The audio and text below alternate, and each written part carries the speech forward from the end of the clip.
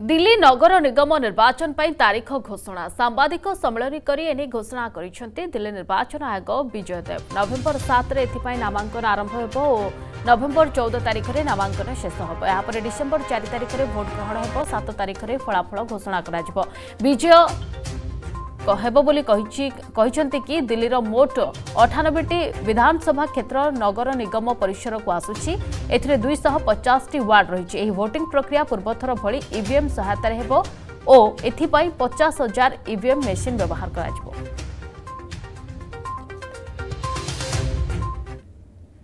Today, the Model Code of Conduct will come into force uh, with immediate effect.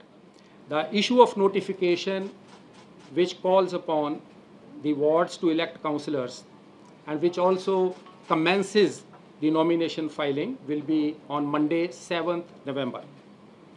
The last date for filing the nominations is uh, 14th of November, which is also a Monday. Uh, scrutiny of nominations will be on 16th of November, which is Wednesday.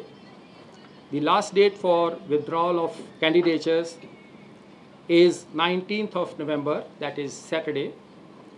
The date of poll, if necessary, as is always mentioned, is 4th of December, which is Sunday.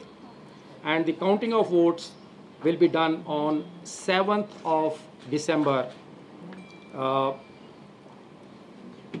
which will be Wednesday. And the completion of the entire electoral process will be done by 15th of December, which is Thursday.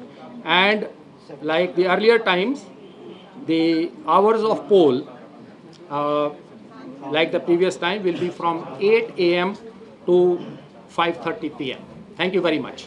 नमस्कार जाखटिरो खबर कागज़ को स्वागत करछु मुझे सतेज सकाळ रे खबर कागज़ रो ताज़ा खबर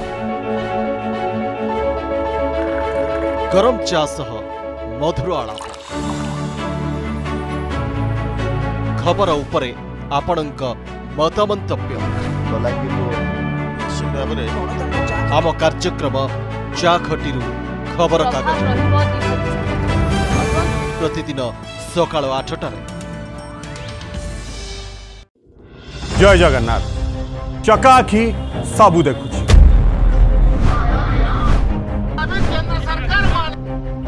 ଆମେ ଲଢ଼ିବୁ ସାଧାରଣ ଓଡ଼ିଆଙ୍କ ନ୍ୟାୟର ଲଢ଼େଇ किए भी आमर गुआ दिया बंधु नुहति। किए भी पार्टी तुंडी दे बसु। किंतु आमे कहबू रोकठोक